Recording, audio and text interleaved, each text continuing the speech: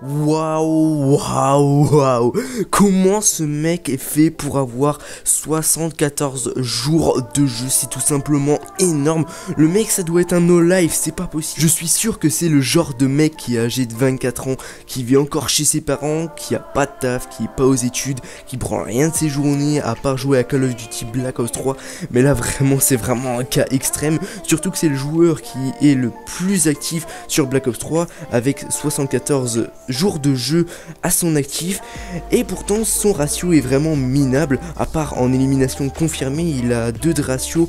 Sinon ses autres ratios sont pathétiques. Enfin moi je devrais pas trop parler parce que j'ai 0,50 de ratio donc c'est vraiment minable aussi.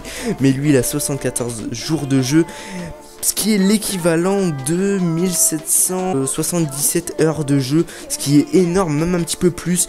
Euh, franchement, ça me fait pitié ce genre de, mec qui geek, ou alors c'est qu'il laisse tout le temps tourner son, son jeu, mais ça m'étonnerait fortement.